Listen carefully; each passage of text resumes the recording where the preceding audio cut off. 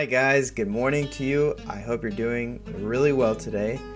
So, today we're talking about transportation water, air, and land transportation. There are types of transportation like trucks and airplanes. So, today we're going to learn more about them.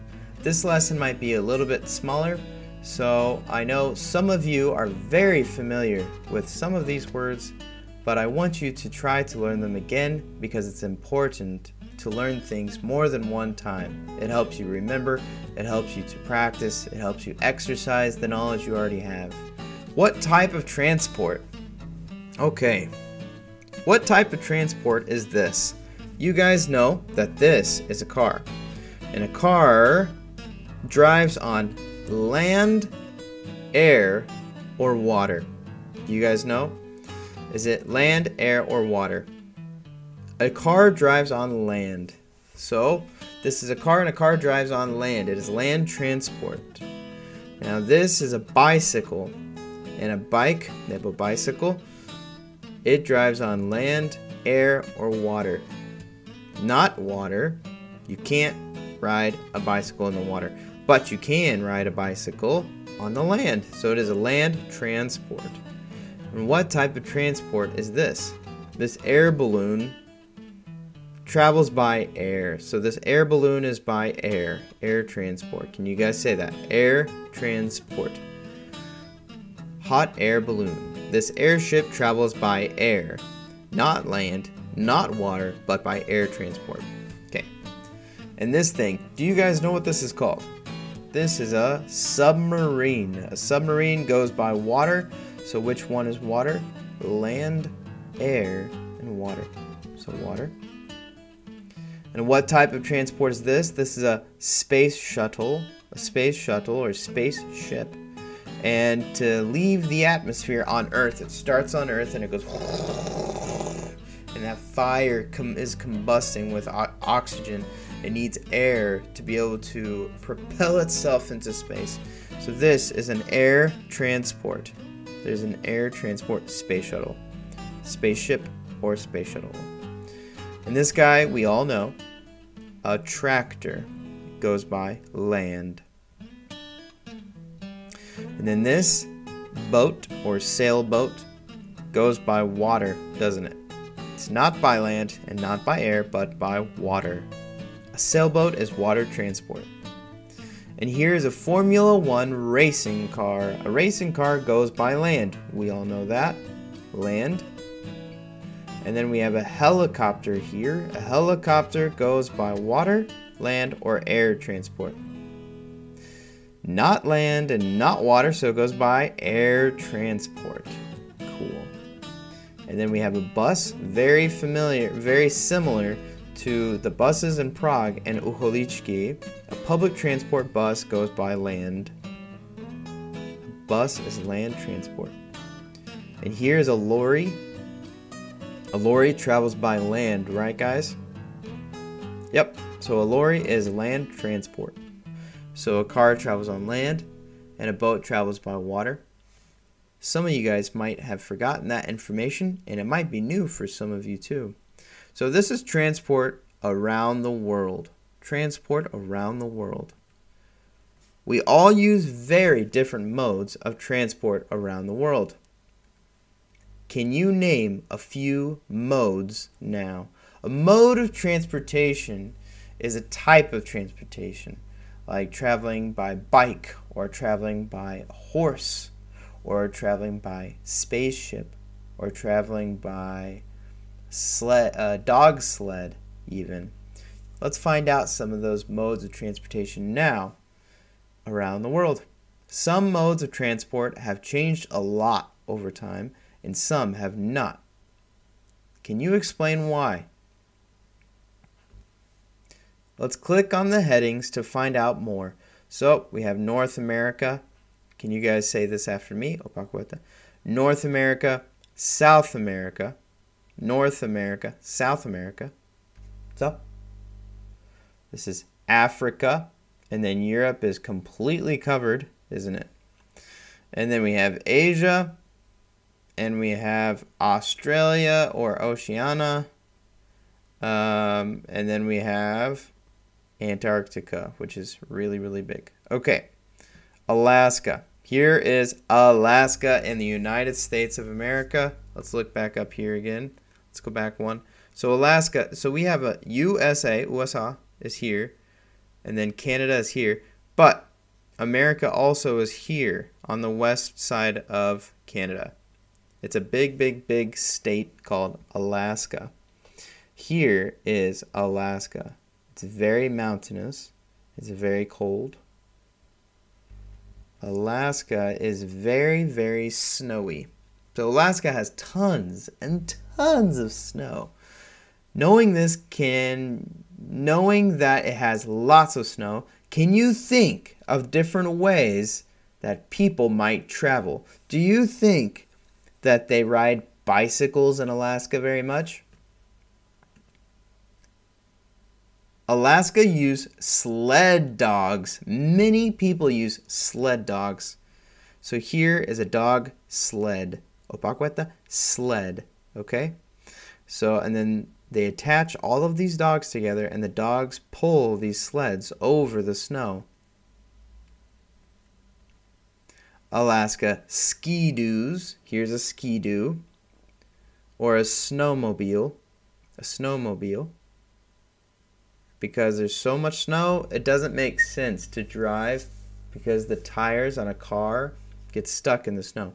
Although they do drive cars there too when it's not super snowy. Okay, let's go back to the map real quick. So that's Alaska. They have ski-doos or snowmobiles. And they have, what's the second one? Dog sleds. Dog sleds. So let's look at San Francisco in California in the US. So they have trolleys or trams as well. San Francisco is in North America. It is in California in the USA. Trams are a popular mode of transport in San Francisco as there are a lot of hills in the city. So, it's a very hilly city many, many hills. And they have a lot of trams up and down these rails, like in Prague, but the trams look a bit different. Here, oh, let's go back to the map. So San Francisco has trams, Alaska has sled dogs, and uh, snowmobiles. Now, Venice. Venice is a city in Italy so Venice is now, we are now in Europe, in Italy. People often travel on the rivers in a long, narrow boat called gondolas. Have you guys ever been on a gondola before? So, Venice, the city, has water, has canals, has rivers all through the city. So, they don't have a lot of streets. They have these small boats called gondolas. Can you guys say that? Gondolas and they ride on these gondolas to traverse the city. Okay, back to the map. So that's Venice, and now we have the Maldives. Here's the Maldives. Wow, that is is that ugly or is it pretty? Is it beautiful? To me, that is incredibly beautiful. The Maldives are a large group of tiny islands in the Indian Ocean. They're a large group of islands in the Indian Ocean. Boats are commonly used to get from one island to another. So in this country, they have many, many, many, many, many islands. I think it's Ostrov in uh, Czech. So many, many, many, many Ostrov. Tons and tons of islands. So to get from island to island, they need boats. So they take boats to get to island to island. They can't drive because there's not many bridges from these islands to get to each other. Seaplanes are used for a faster way to travel. So this special, special plane has these big things here and it helps them land on the water. So if this is the water, it lands, goes, and it lands on the water. Isn't that crazy?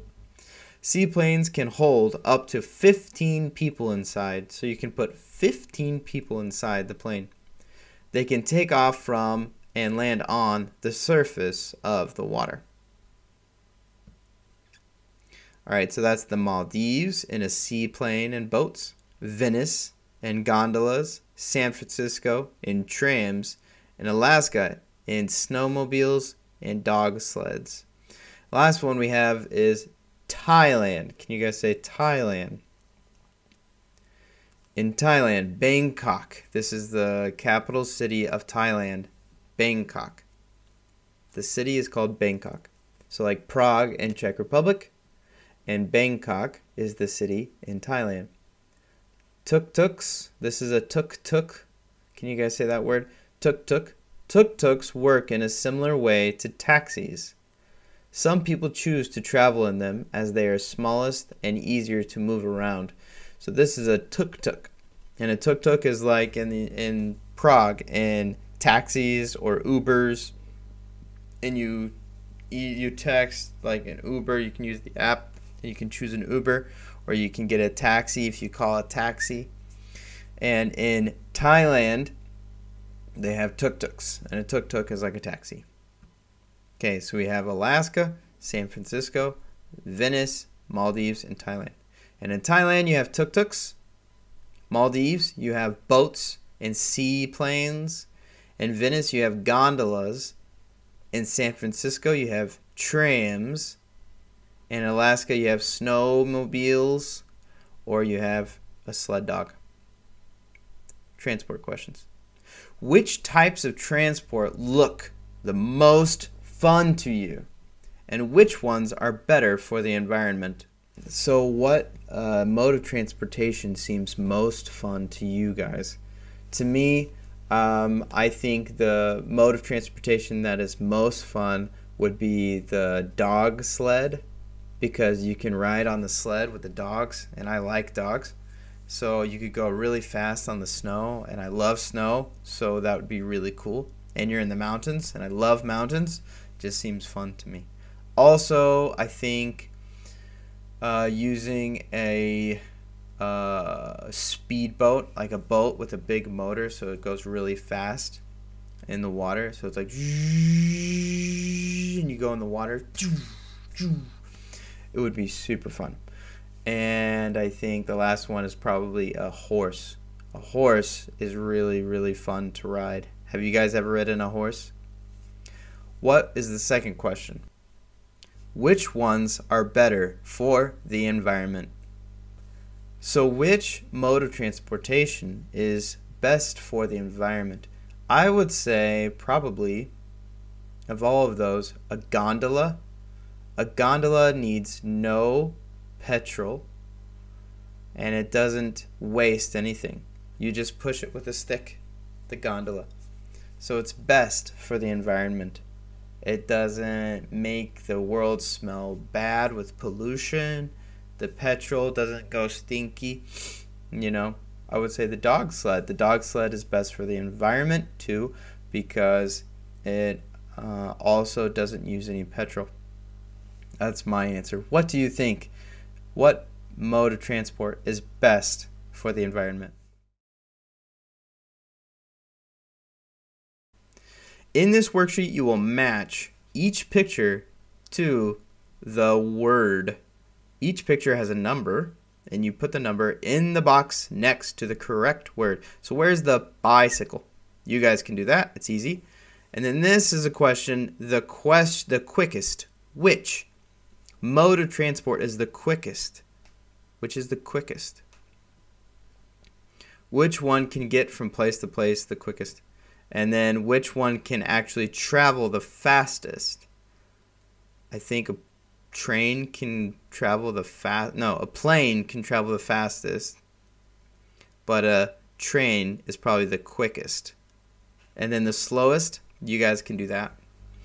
And then next is very easy. You just match land, water, and air to the mode of transport it belongs to. So to a car, land to a, a ski-doo, I mean a sea-doo, or jet ski, water. And you guys can do that. And then you have a fun one, hidden pictures. And then you have a worksheet. I mean a word search. So you can put you can find car, etc. Okay? I hope you guys enjoyed the lesson and I hope to see you guys soon at school. Bye everyone.